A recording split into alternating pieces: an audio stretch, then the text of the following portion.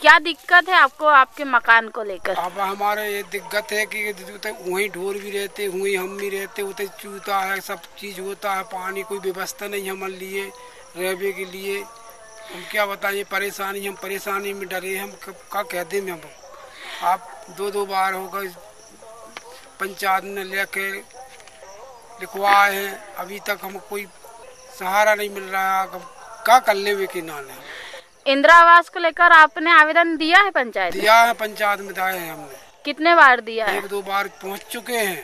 आपके सरपंच सचिव क्या कह रहे हैं इसको लेकर? बस दे दे हवाई होते से होएगा होएगा होएगा कैसा हो रहा का मालूम कुछ समझ में नहीं आ रहा हमके।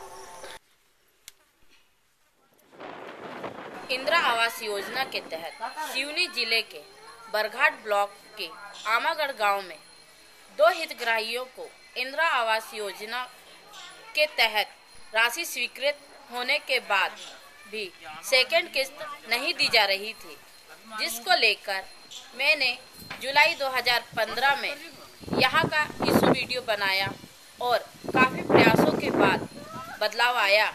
क्या समस्या थी आपको इंदिरा आवास योजना को लेकर? क्या है मैडम मेरे को ये किस्त मिल चुकी 2012-13 में।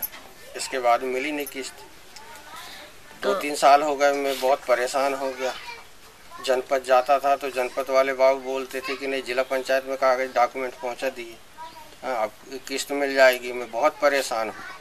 तो क्या कार्रवाई की है इसको लेकर? इसके बाद में आप लोग आए। आप लोगों ने मेरी समस्या सुनी और इसके बाद में फिर आपने इसके लिए आगे कार्रवाई की है।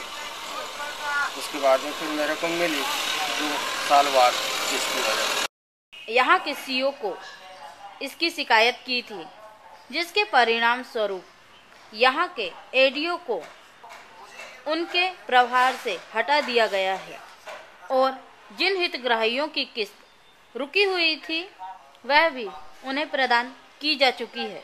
अब आपको कैसा लग रहा है? हमको तो अच्छा लग रहा है कि अपने को सफलता मिल गई फ़ायदा मिल गया। घर से आप लोग नहीं आते और आप कदम नहीं उठाते तो हम तो वंचित ही रहते। और कितने साल हो गए वंचित थे? मैं रेखा भांगरे ग्राम आमागढ़ जिला सिवनी मध्य प्रदेश से इंडिया अनहट के लिए।